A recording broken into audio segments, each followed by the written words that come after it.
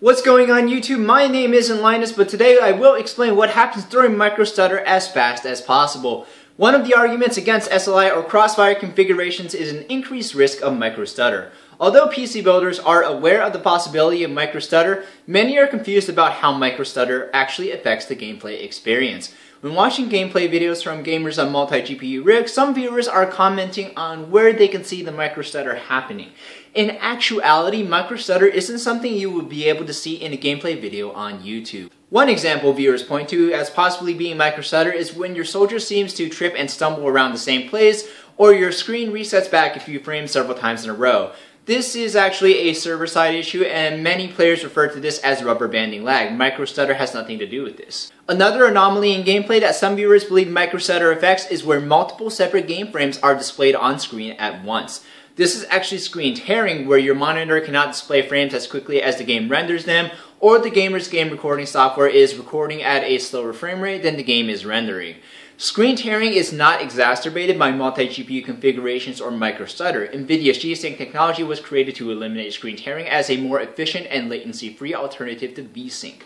What actually happens during micro-stutter is when there is a high amount of frame time variance in alternate frame rendering situations, which is the technology behind SLI and Crossfire. The time duration that one GPU outputs a frame may be so long that the second GPU's frame never reaches your display because the second frame's duration is so short. The ultimate effect of high frame time variance is a choppy and less smooth gameplay experience even with a high reported frame rate. For example, Fraps or other benchmarking software might show your game computer rendering 60 frames per second, but due to high frame time variance, your monitor only displays 45 frames per second. Nevertheless, do not let the possibility of microstutter discourage you from adding a second GPU to your build. From the GeForce 500 series onward, GPU architecture and driver work have incorporated SLI optimization to the extent that there is very minimal frame time variance differential compared to using SLI or a single card.